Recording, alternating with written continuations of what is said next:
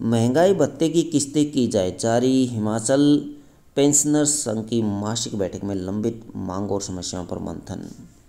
Himachal pensioners संघ नादौन खंड इकाई की मासिक बैठक, खंड प्रधान जगदीश चंद्र शर्मा की अध्यक्षता में कांगू में आयोजित हुई।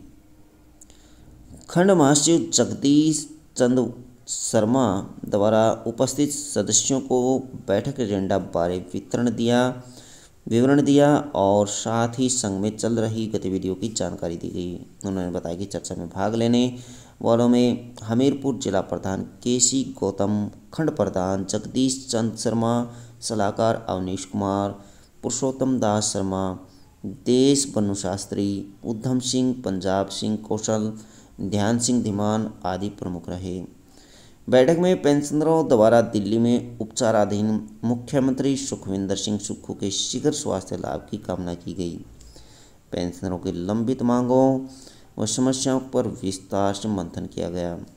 वेतन एवं पेंशन संशोधन के बहुत से मामले अब भी लंबित हो, होने महँगाई भत्ते की तीन किस्तें जारी न होने पेंशन संशोधन के फलस्वरूप बकाया राशि का भुगतान न हो पाने ग्रेचुटी कम्युनिकेशन व लिम्ब आदि भुगतान लंबित होने पर पेंशनरों में जारी भारी आक्रोश पाया गया।